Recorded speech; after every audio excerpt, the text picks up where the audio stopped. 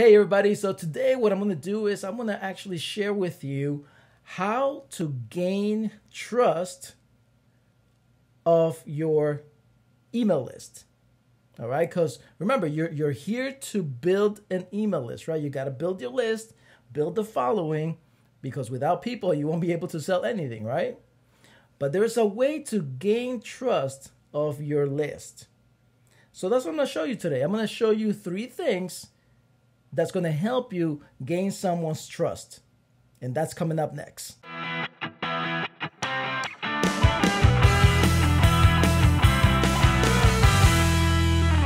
Hey everybody, this is Eddie Sand and welcome to another training day that I have good information for you today. Today, I want to give you the most crucial part of your online business.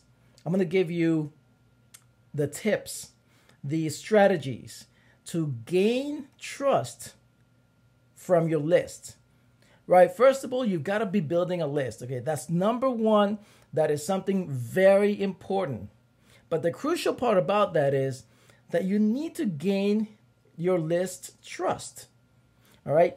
Don't become one of those online marketers that basically buys a list of emails and starts spamming them, right? Or maybe you you have an opt-in page and people are signing in or signing up, opting in to your list, but you immediately bombard them with buy this product, get this service, join my team, and all this stuff, and people just unsubscribe. Why? Because again, the crucial part about your online business with your email list is to gain trust. You've got to gain trust.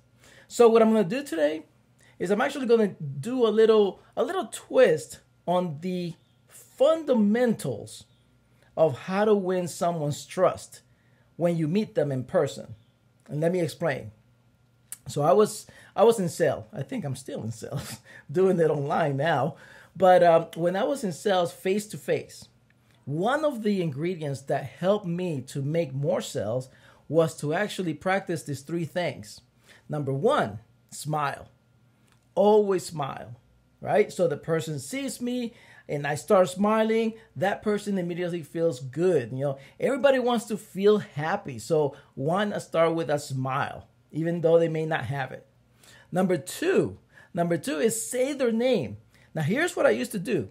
So, again, in sales, you've got to remember someone's name because when you become their friend by you saying their name multiple times, usually my goal was three to four times through our, our, convers- our conversation. And that build trust, right? I can talk to a friend easier when I'm telling, uh, I'm calling them by their name than it is by saying sir, ma'am, or no name at all. So that was the second thing that I did. Always say their name. And number three, here's here's the cool part. Number three was one of my favorites because when you smile, when you say their name, you've got to listen. That's number three. And let me tell you, it was one of my favorites because when I listen, that gave me the how do I share, how, how can I call it, the ammunition to give them back what they wanted. For example, uh, this was in, in retail kind of places, and I used to work in a fitness industry. So I used to sell uh, memberships. So every time someone will come in, they will tell me all about, you know, how they want to lose weight, how to, you know, all the problems, all the challenges, and I would listen. So when it was ready for them to buy training from me for the gym, become a member, and then buy training, personal training, all I had to do was repeat what they had just told me. And that cannot be possible if you're not listening. So you're probably asking, well, Eddie, that's cool when you, you have someone in front of you, but how can I do that with an email list? I mean, they're they're not looking at me, they're not watching me. How do I do that? Well, good question. Because you can do it, the principles are still there. I'm to prove it to you.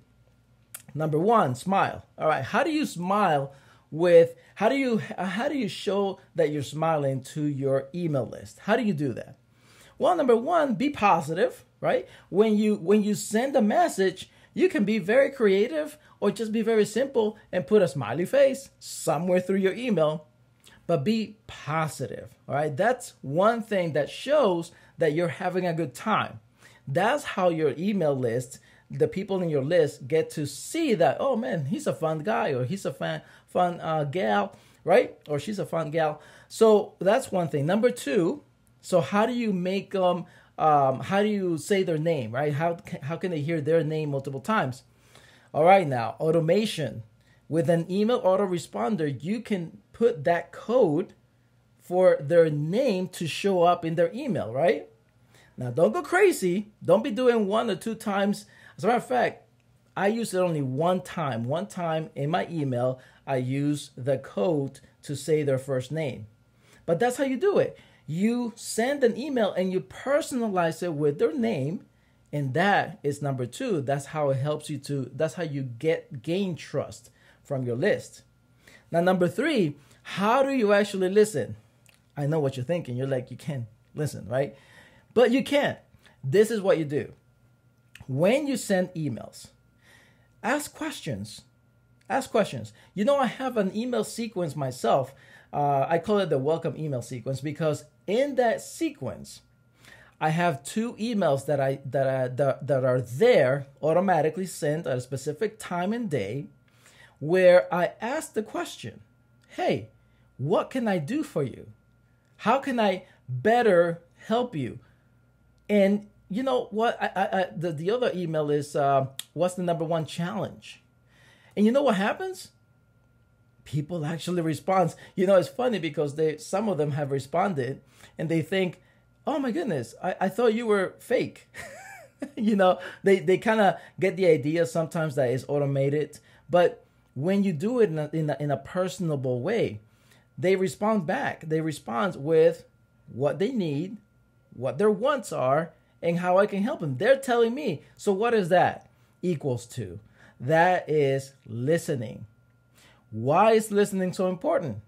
I told you at the beginning of this video that when you listen, now you have ammunition, right? Now you have something to tell them back. So they've gained trust, right? You're friendly, you're positive, you call them by their name, and now you're actually like asking, How can you help? So now you're really opening the doors for them to trust you, but not only that, to in like here, you. You're you're going to find the welcome email sequence that I was just talking about.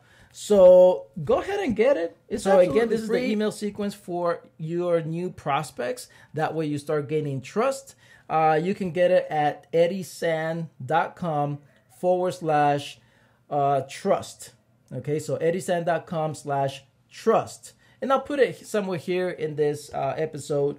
And uh, by the way, just so you'll know where where I got this information about these three things.